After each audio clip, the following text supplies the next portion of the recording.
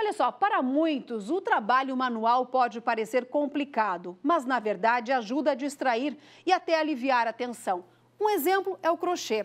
O passatempo conquistou um jovem lá de Chapecó no Oeste. Ele aprendeu essa arte quando era criança e até hoje passa horas imerso nas linhas. Uma arte milenar que passa de geração em geração. E foi assim que Ricardo aprendeu a fazer crochê e tricô. O jovem de 15 anos se interessou pelo artesanato ainda quando pequeno.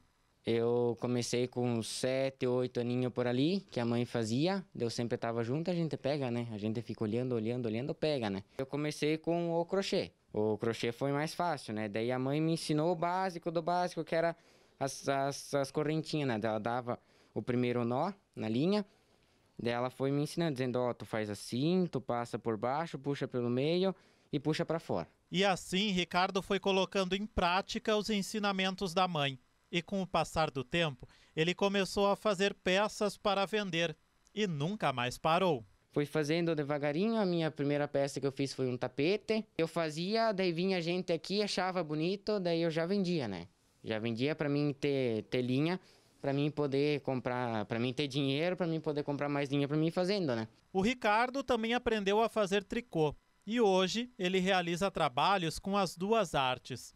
E mesmo fazendo apenas para passar o tempo, o jovem diz que já sofreu preconceito pelo simples fato de ser homem e gostar de trabalhos manuais. O homem olhou para mim deu risada e disse: Mato, por que, que tu tá fazendo isso ali? Disse: Ah, porque eu gosto, né? Eu me sinto bem fazendo e é um, um passatempo, né?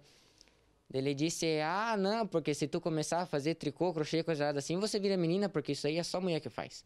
Daí eu disse: Não, então eu vou começar a fazer mostrando que não é só mulher que, que pode fazer, né? Que se você quer aprender, tu faz também. Para a dona Cleci é um orgulho ver o filho seguindo os passos dela e fazendo crochê e tricô. Ah, é bom, né? Porque antes de estar na rua, ele está aqui comigo. Se eu faço tricô, ele faz também. Se eu faço crochê, ele faz também. E tá sempre junto. Mas é muito bom.